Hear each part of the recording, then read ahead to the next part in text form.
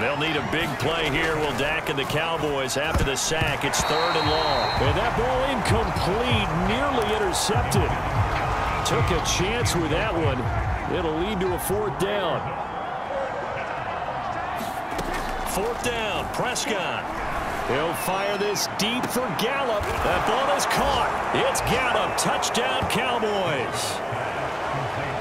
Michael Gallup with his third touchdown so far, number 13.